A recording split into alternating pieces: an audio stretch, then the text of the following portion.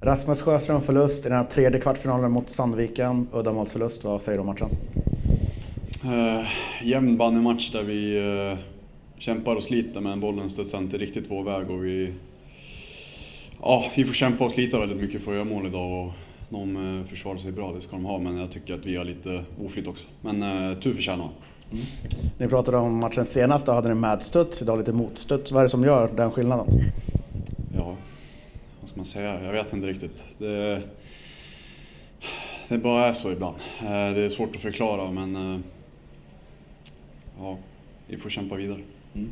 Nästa match i Sandviken, utomhus på Järnvallen på torsdag. Hur ska det bli? Nej, det ska bli jätteroligt. Det är en ny match igen, det är bara att försöka glömma det här och eh, gå vidare. Det är så pass tight så man har inte så mycket tid att fundera på vad som har hänt. Så det är bara fokus på vad som ska komma skall där ute och det ska bli kul med en utematch. Mm. 2-1 i matcher, vad säger du om det? Ja, vad säger om det? Det är en ny match på torsdag igen och det är eh, vi som är i förarsätet och leder med 2-1. Så nej, det ska bara bli kul att åka upp dit och få spela på Järnvallen. Tack så mycket. Tack.